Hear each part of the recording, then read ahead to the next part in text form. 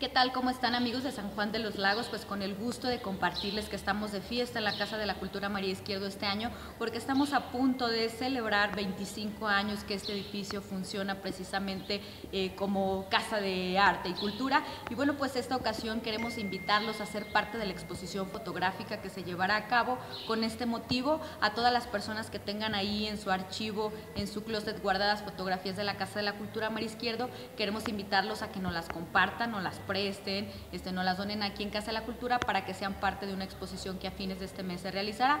Igualmente decirles a nuestros amigos fotógrafos profesionales eh, o simplemente los apasionados de la fotografía que están invitados también cordialmente a participar en esta exposición fotográfica para plasmar lo que representa la cultura en San Juan de los Lagos a lo largo de 25 años.